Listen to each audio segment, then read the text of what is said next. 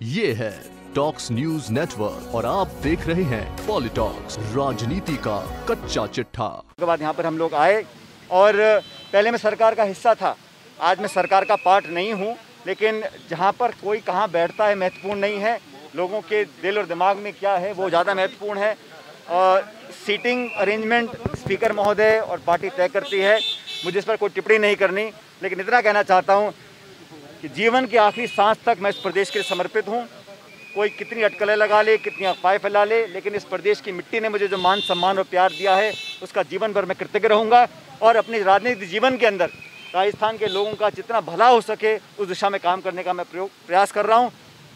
आज जो विधानसभा के अंदर बातें बोली गई, मैं समझता हूँ प्रदेश की जनता ने उसको सुना और जो सरकार ने कल हमारी जो मुलाकात हुई, उसके बाद जो संदेश गया कांग्रेस आला कमान ने जो रास्ता इख्तियार किया है सारी बातों को सुलझाने के लिए उसका लाभ पार्टी को मिलेगा सरकार को मिलेगा। और आज सदन के अंदर तमाम बातें बोली गई लेकिन ऐसा कोई ठोस तत्व सामने नहीं आया जिसके कारण सरकार को चुनौती हो।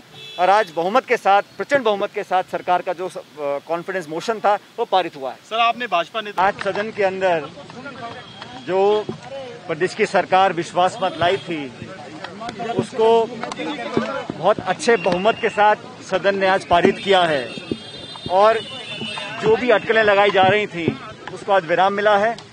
मैंने सदन के पट में पटन में भी बहुत संक्षिप्त इस बात को कहा कि जो कोई पॉलिटिकल राजनीतिक चर्चा थी, या कोई विषय उठे होंगे, उस सब पर संतोषजनक संवाद करने के बाद कांग्रेस पार्टी के अध्यक्ष के माध्यम से सभी समस्याओं का समाधान निकालने के लिए रास्ता बना चुका है और मुझे पूरा विश्वास है कि समयबद्ध तरीके से उस सभी रोड मैप का खुलासा होगा और हम सबके जो कंसर्न थे, उसको संतोषजनक तरीके से उसको डील किया जाएगा। जहाँ तक सदन के अंदर की बात थी, मैंने कहा कि कांग्रेस पार्टी के और कांग्रेस पार्टी के समर्थन में जो विधायक हैं, उन सबने एकजुटता का आज परिचय दिया और विपक्ष ने तमाम कोशिशें करी, लेकिन उसके बावजूद भी आज प्रचंड बहुमत के साथ सरकार के पक्ष में जो कॉन्फिडेंस मोशन मूव हुआ था वो पारित हुआ है। इस बात की मुझे खुशी है।